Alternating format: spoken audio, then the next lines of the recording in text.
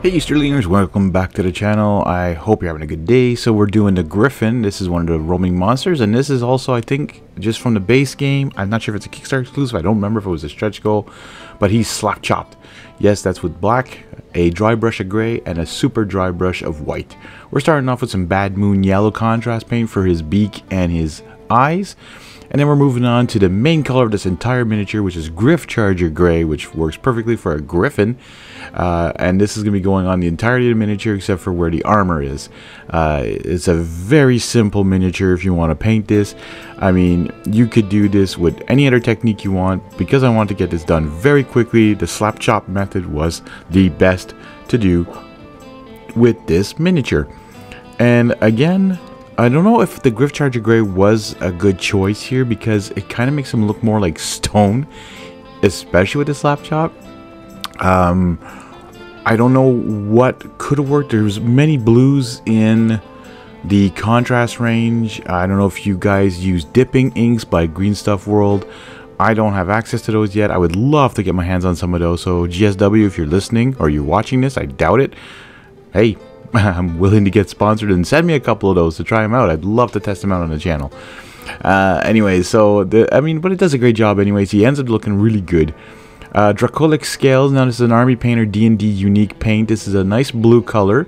Yes, I could use a Gryph-Charger gray here again, but I just wanted this different kind of blue and a different kind of paint for these wraps around his like horns Yeah, I don't know if they're horns or what. I don't know if it's part of the armor or not. I think so. It might actually be part of the armor there. Some rigid brown now just to do some straps uh, that's holding on his armor.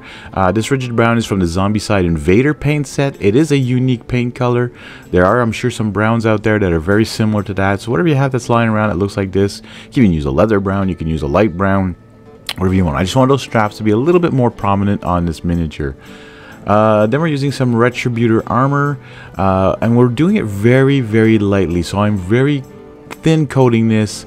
I'm rubbing a lot off the brush, just trying to get it on top. And you know what? It actually, that slap chop method, I was surprised because usually I see a lot of painters using the zenithal method and then slap some paint on, but I think they put it on too thick that you don't even see the highlight again. Like the, the, the, the black and white is just not there anymore. There's no dark and light. I found that with the slap chop and really thinning out your paint, not putting on much, really spreading it out, you still have, it's not super there, but it's there, uh, a tint of highlighting. It, it's not much, but like again, you know, it's there. It's very subtle, but uh, just thin out your paint. You can put a little bit more water on your brush. You can do whatever you want. You can spread it onto a little bit of a wet palette, and there you go.